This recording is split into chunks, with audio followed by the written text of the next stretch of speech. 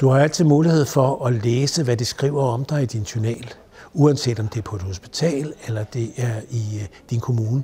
Det kan være rigtig godt i forhold til, hvis du for eksempel skal klage over en afgørelse.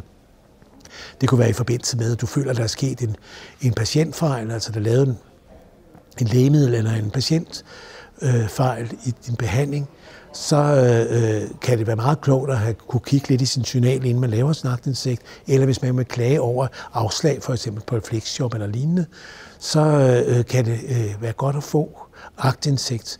Og det kan være klogt at få øh, øh, bede om sådan en, for en særlig periode, altså kan man kan godt få det mange år tilbage, hvis det er nødvendigt. Man kan også bede om en specifik periode inden for de sidste 8 måneder, eller hvad ved jeg. Og, og det skal man så have inden for syv hverdage. Hvis kommunen eller hospitalet ikke kan nå det inden for, øh, for den frist, så øh, skal de kunne forklare, hvornår de så forventer, at du kan få din aktindsigt. Du kan jo også øh, gå ind på øh, sundhed.dk, og der kan du også komme ind og se din øh, e-journal og se, hvad der er blevet skrevet om dig. Det er jo sådan, at der ikke kan skrives noget om dig, medmindre du giver tilladelse.